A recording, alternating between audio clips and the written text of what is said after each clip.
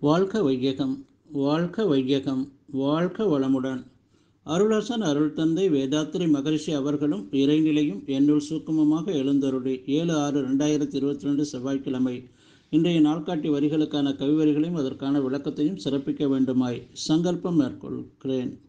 அனைவரையும் பணிவோடு முதற்கண் வணங்கி ஆரம்பிக்கலாம் என்றிருக்கிறேன். அனைவருக்கும் இனிய காலை வணக்கம். வாழ்க வளமுடன். சாமிஜியினுடைய இன்றைய நாள்காட்டி வரிகள். உலக சிக்கல்களை ஒரு நொடியில் உணர்ந்திடலாம். ஒருவராலும் அதனை உடன் திருத்த முடியாது என்று சாமிஜி நமக்கு இந்த வரிகள் கொடுத்துருக்குறாங்க.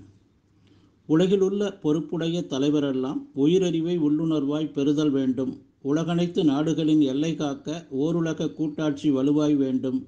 உலகில் போர் பகை அச்சமின்றி மக்கள் உழைத்துண்டு வளம் காத்து வாழ வேண்டும். உலகெங்கும் மனிதகுலம் அமைதி எனும் ஓர் வற்றாத நன்னிதி பெற்று உய்ய வேண்டும். என்று சாமிஜி இந்த கவிதை வரிகளை கொடுத்துருக்குறாங்க. உலக சாமிஜி ஒரு நாலு ஆண்டுகள். ஐநாவினுடைய செயல்பாடுகளை எல்லாம் ஊன்று கவனித்தாங்க.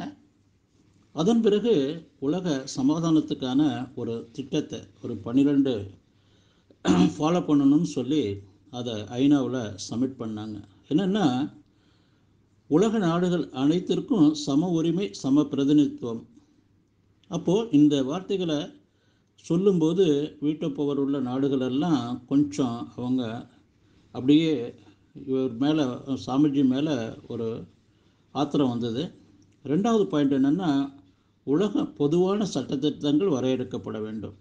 ஒட்டுமொத்த நாட்டுக்கும் உலக நாடுகளுக்கும் ஒரே சட்டத்திட்டம் இருக்கணும். வீட்டு பவர் உள்ளவங்களுக்கு ஒரு மாதிரியும் இது மாதிரி இருக்கக்கூடாது. அப்போ அதனால தான் சிக்கல்கள்லாம் ஏற்பட்டு கொண்டே இருக்குது என்பதை சாமிஜி புரிந்து சொன்னாங்க. உலகில் உள்ள அனைவருடைய பிறப்புரிமையும் சுதந்திரமும் பாதுகாப்பும் பொறுப்பு ஐநா ஏற்றுக்கொள்ள வேண்டும் என்று சாமிஜி சொன்னாங்க.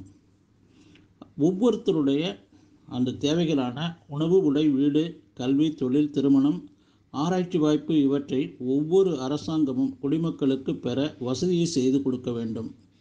எல்லா நாடுகள்லையுமே மக்கள் பசியின்றி உடையின்றி வீடு உணவு உடை வீடு கல்வி தொழில். அவங்களுக்கு ஒத்த வயதில் ஒரு திருமணம். அவங்க ஆராய்ச்சி மேற்கொண்ட அதற்கு உண்டான வாய்ப்பு. இது எல்லாமே எல்லாருக்கும் வழங்கப்பட வேண்டும். ஆண்களைப் போல பெண்களுக்கு எல்லா துறைகளிலும் சம உரிமை அளிக்கப்பட வேண்டும். ஒவ்வொரு துறையிலையும் ஆண்கள் வந்து எந்த அளவில் அவங்க வந்து ஈடுபட்டு செய்கிறாங்களோ அதற்கு ஈக்குவலாக பெண்களும் செய்யணுங்கிறத சாமிஜி வலியுறுத்தினாங்க.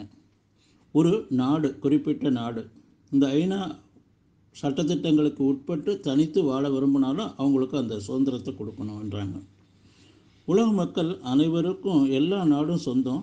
எங்கு அவர்கள் குடியேறவோ பயணம் செய்யவோ அவர்களுக்கு சம உரிமை அளிக்க வேண்டும். அதே போல தனது கடமைகளை நிறைவேற்ற தவறினால் ஐநா தலையிட்டு அதை சரி செய்து அவர்களிடமே ஒப்படைக்க வேண்டும். சமிஜ் சொன்ன அந்த ஒன்பதாவது பாயிண்ட் என்னென்னா போர் சட்டவிரோதமாக்கப்பட வேண்டும். போருக்கான ஆயுதங்கள் செய்வதை கைவிட வேண்டும். தொடர்ந்து இந்த ஆயுத உற்பத்தி என்பது ஒரு நாட்டை ஒரு நாட்டை அழிக்கிறதுக்காக உற்பத்தி பண்ணிக்கிட்டே இருக்கீங்க.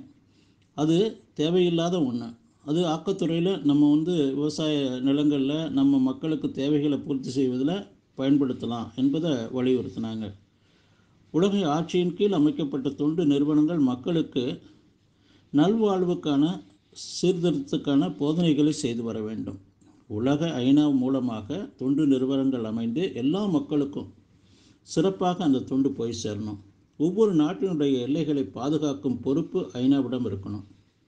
கடைசியாக சாமிஜி சொன்னது வீட்டோ பவர் நீக்க வீட்டோ அதிகாரம்னு இப்போ இருக்கு குறிப்பிட்ட நாடுகளுக்கு மட்டும் அந்த வீட்டோ பவர் நீக்கப்பட வேண்டும் நாங்கள் அப்போது சாமிஜி இந்த கருத்தை சொன்ன உடனேயும் சரியாக அந்த உலக சிக்கல்களை நீங்குவதற்கான எல்லாத்தையும் சாமிஜி உணர்ந்து தெளிவாக இந்த திட்டத்தை கொடுத்த உடனேயும் எப்படி சாக்ரட்டிஸ் வந்து உண்மையை சொல்லும்போது அதை ஏற்றுக்கொள்ளாத அந்த அரசாங்கம் அவருக்கு குரோனிய விஷத்தை கொடுத்தாங்களோ அதே போல் வீட்டை போவர் உள்ள நாடுகள் எல்லாம் சாமிஜி மேலே அவரை சாமிஜியை ஏதாவது ஒன்று பண்ணணும் அப்படிங்கிற முடிவுக்கு வந்த உடனே சாமிஜி அதை புரிந்து கொண்டு சுக்குமமாக சரி சொல்லிட்டு அதோடு அவங்க சாமிஜி வந்தவங்க தான். அதுபோல் பார்த்திங்கன்னா சிக்கல்கள் எல்லாம் சாமிஜி ஒரு நொடியில் உணர்ந்தாங்க. ஆனால் அது திருந்தி உலக மக்களுக்கு நன்மையாக மாறுறதுக்கு வாழ்த்து காப்பு பல ஆண்டுகள் ஆகும் என்பதை உணர்ந்து சாமிஜி வாழ்ந்தாங்க. நாம் ஒவ்வொருவரும் நமக்கு வரக்கூடிய அந்த சிக்கல்களை நாமளாக உற்பத்தி பண்ணி கொள்ளாமல் நுட்பம் தெரிந்து எளிமையாக தீர்த்து வாழணும். நன்றியோடு நிறைவு செய்து கொண்டேன் இன்றைய சிந்தனையை வாழ்க வளமுடன் வாழ்க வளமுடன் வாழ்க வள